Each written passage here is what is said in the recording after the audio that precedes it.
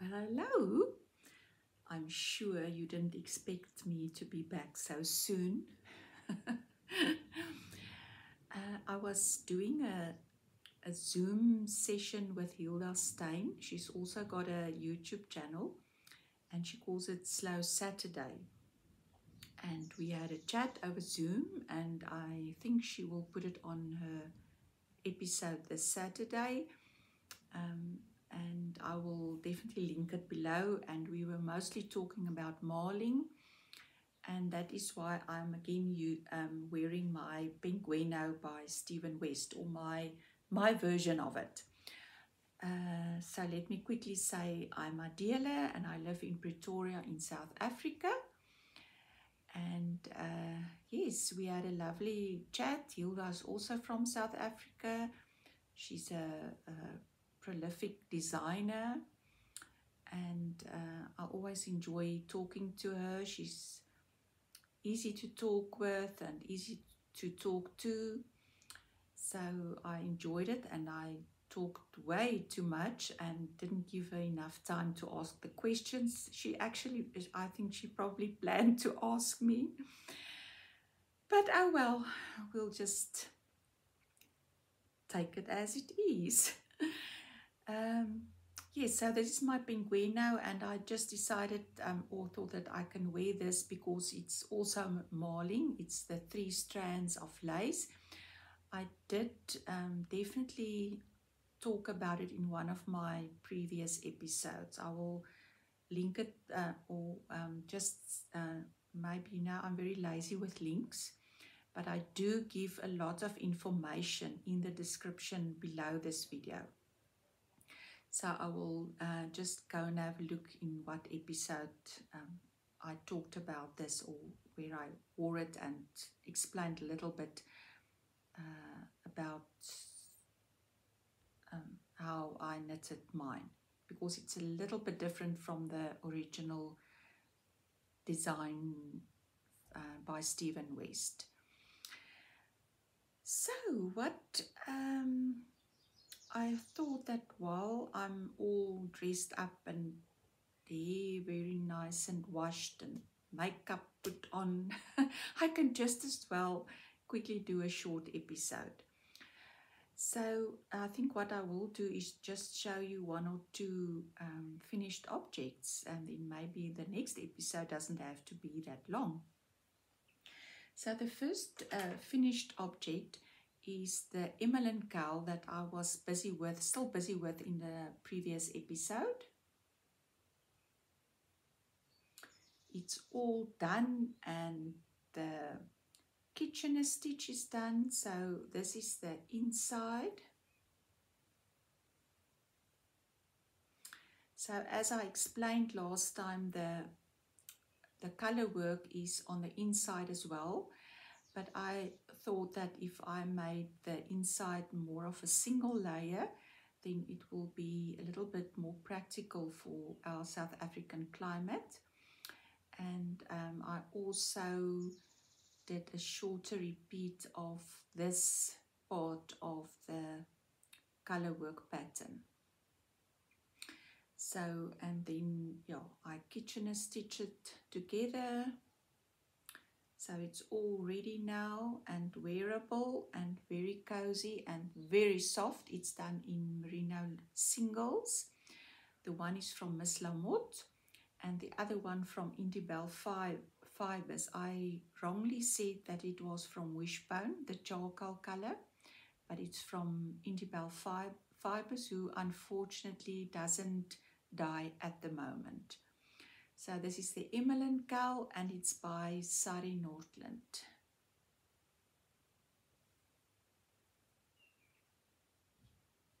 I'm very happy that it is done and that it is a finished object. It was um, it was a whip for a quite a long time. And then um, I did say that August will all will be all about uh, whip busting, but uh, another small project jumped onto my needles when I was at the little breakaway that uh, I was uh, going to when I when I spoke to you last time. A yarn shop from Johannesburg, the Yarn Tree. The ladies from the Yarn Tree was also there, and we had great great time. Lots of laughing and chatting and knitting and crocheting and looking at yarns, all the yarns they had. And they asked me if I was willing to give a color work class at their shop in on the 17th of September. So um, I chose two yarns. I bought two yarns from the shop to quickly make a new sample of this easy color work cowl.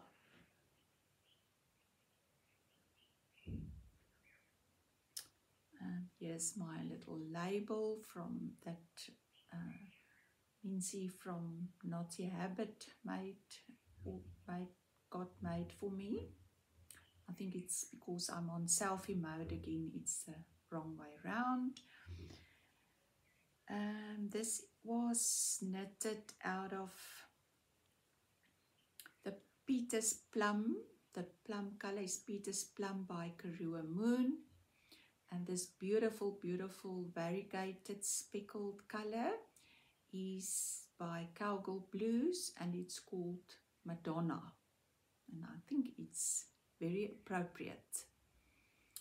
So I used 4.5 millimeter needles and then after this ribbing I went to a 4 millimeter but um, yes as I will say in my color work class that I, it all depends on your gauge and how tight your color work is. So I just want to show you, um, it actually forms a pattern on the inside as well. And that pattern is just formed by the floats. So this is a DK, I would actually say it's almost a light worsted. It's the same weight as the one of a kind four ply DK that I've uh, showed you previously that I um, use quite a lot that I used for my mandala and for the scarf that I wove. It's a very nice base, very nice.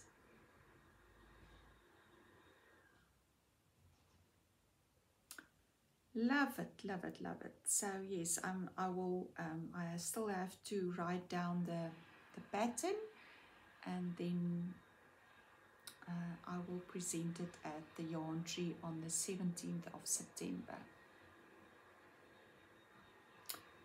So that is the one project that jumped on and off my needles since I last spoke to you. and then, oh, I think I must, no, I will show that to you next time I think I think I will show that to you next time um, oh and the other thing that's done is the the bed socks that I showed you this is actually also done in the same four ply DK light worsted base and this is from uh, one of a kind yarns uh, this is one skein as you can see uh, the one is a little bit lighter than the other one. This was the first sock. And this is the second sock. But it's only bed socks and it's only socks. Even if it was socks that I would wear, it doesn't really matter. uh, I just want to quickly show you um, the pattern itself. As I said, I used the stitch count for the Rye socks by Tin Can Knits and it works out, I think the size is perfect. I used the medium, started with 44 stitches, one by one ribbing. And then as my usual after the ribbing I turn it inside out and I uh, knit.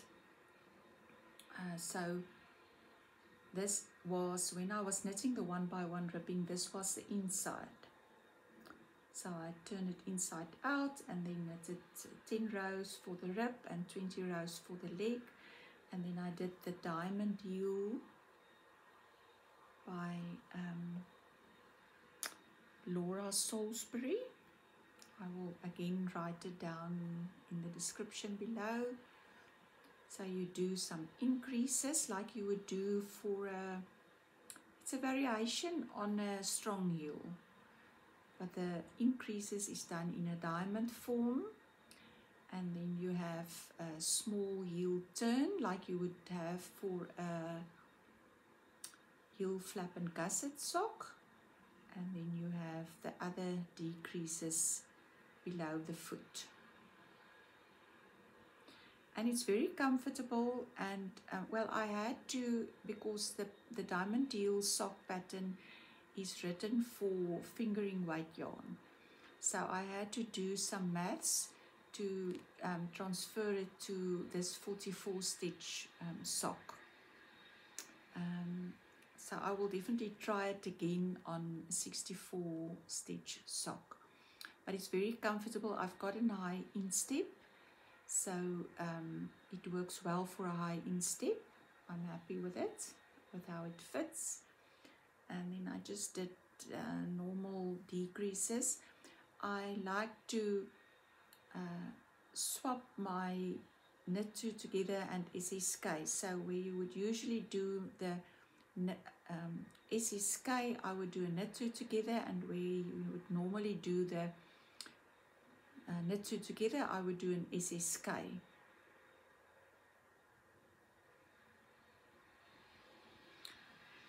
And yes that is now a pair of bed socks which I would probably only wear next winter because it's almost spring here in South Africa. But in any case um, I used a 3.25 uh, 80 centimeter needles um, the Addi lace tips I think I said last time as well.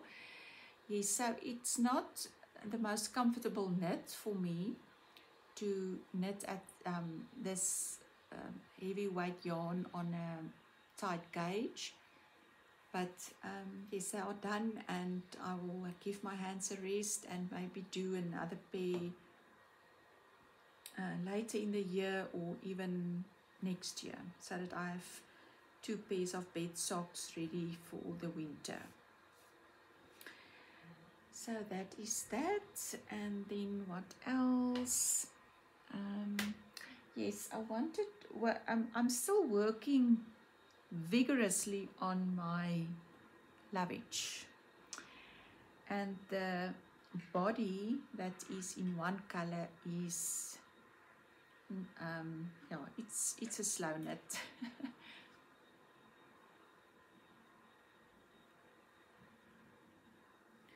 I'm almost, almost ready to start the bottom ribbing.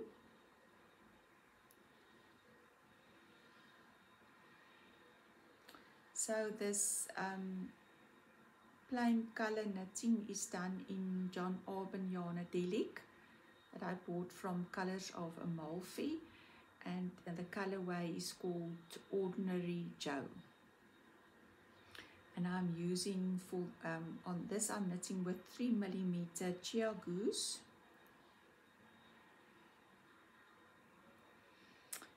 So that is then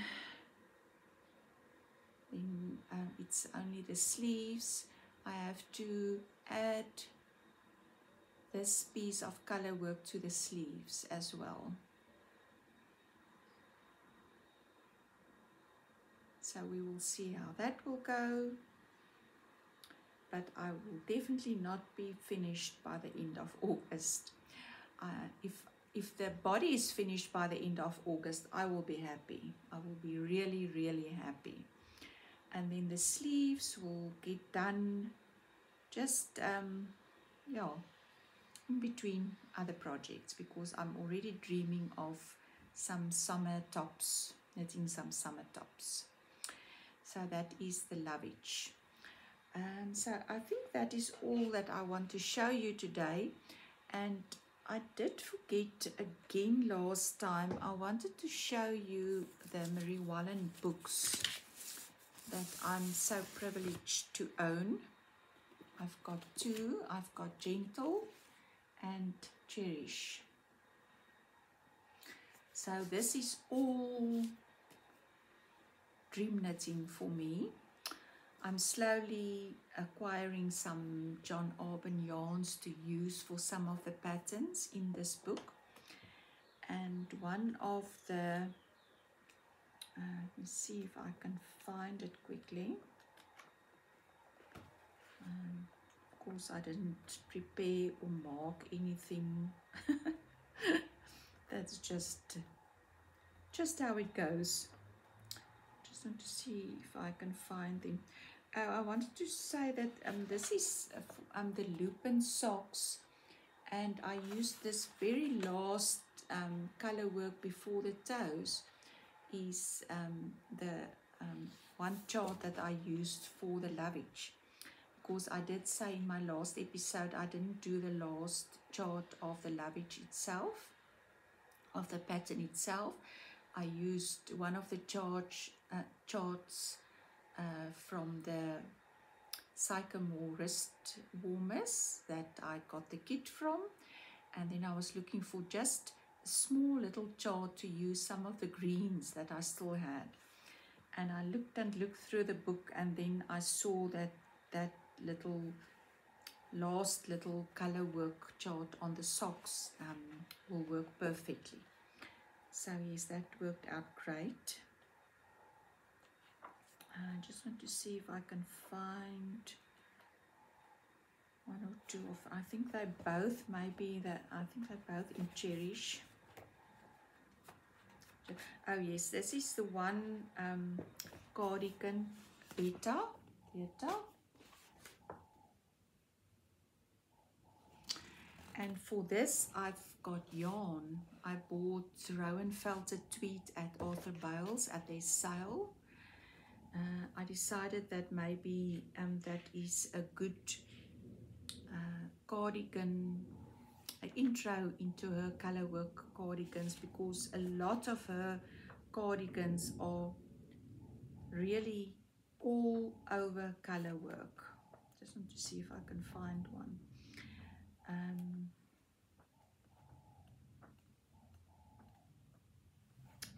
for example this one This is called Rosalie. So um, I think before I start something like this, I should probably start with something with um, uh, some rest rows in between. And um, I also thought that it might be ideal because I do like, um, as you know, I do like to um, convert all my cardigans and sweaters with an A-line. So I thought that the rest rows that is in between uh, will give me the opportunity to work out how, how I'm going to do that um, A-line shaping for the cardigans. Uh, and then one of the other there's another design in here that is uh, the same not the same but uh, it looks more or less like the lovage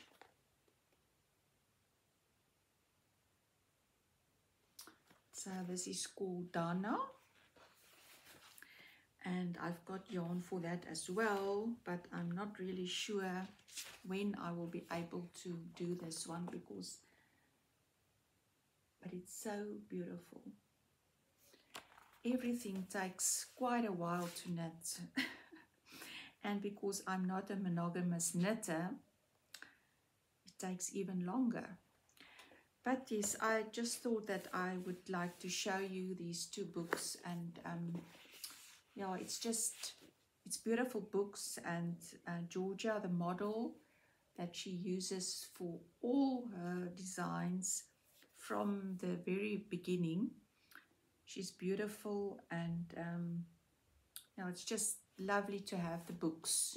Uh, you, uh, when you buy the books, took a while to come to arrive in South Africa because we were waiting for someone to bring it in their luggage and they came separately in different persons' luggage uh, just to save on the postage. That would have been, the shipping would have been uh, made the price almost double.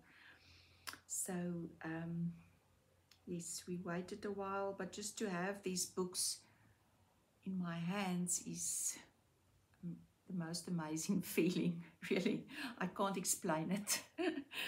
but yes, I'm, I'm happy to have them and to own these books and to just um, page through them and admire all the designs and beautiful, beautiful designs in both of these books with quite a few that I would love to knit in the next 10 to 20 years. but I think that is all that I wanted to share with you today. And um, yeah, I just thought that while I was all dressed up, in my in my eyes, I'm dressed up. Uh, I can quickly make a short episode and say that I'm well and I'm a bit more relaxed. I'm surrounded by cameras and beams and alarm eyes now. And um, I don't have a sinus infection anymore. So um, everything is better. Thank you so much for watching and thank you for all the uh, kind comments always on my episodes. I'm really really looking forward to the day that I will have 500 subscribers that will make me really happy. And I'm already thinking of prizes that um, I would like to um, give away to celebrate my 500 subs subscribers. I hope I really hope I can get there. It will I, it makes me so happy if I see this um, a few more subscribers to my channel so um, if you know of anybody that would um, enjoy my episodes, please um, refer them to my channel. Will, that will make me very happy. Thank you so much for watching and I would, I would like to see you sooner than later. Goodbye.